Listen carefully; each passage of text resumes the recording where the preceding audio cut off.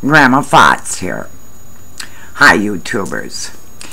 God, it's good to be back on YouTube. I don't know what come over me, but I'm back, and that's the main thing. I gotta show you something. Found this up in the attic. This is an old doll I got. I think I was about five years old when I got this for a birthday. I don't know what the hell I named her. Anyway, I found this in the bag too. An old film. Looked in it and OMG. It's got my fifth birthday party. I think I was about five. I'm going to get the old movie projector out and show y'all the movie of it. I love you. Signing off, Grandma Fottz. I remember it just like yesterday, for the God's sakes. I got all kinds of presents, well, a couple of them. I believe I was about five years old then. Well, I started tackling the first present on my birthday. Oh my god, the doll. There's the doll I just showed you.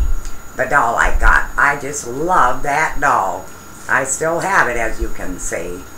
Grandma Fottz just loved that doll. I think I called her uh, Mandy Moo or some darn thing. Anyway, there's another present sitting in front of me. There we go. The heck was that? Not sure. Looks like something to eat. I don't see a card. Let me try it. Let me see what it tastes like. Oh, I remember I just kind of looked up at the camera and I was eating that and it tasted kind of weird. I, I, I like the stuff. Well, God, there's a card there. I gotta read the card, see who this is from. Tastes kind of weird, but little on the sweet side. And it said, Happy Birthday, Grandma Fottz. And then it said something like, I remember it vividly. I hope you enjoy the doggy shit. Love, Gwenny, your sister. God almighty, she gave me doggy shit.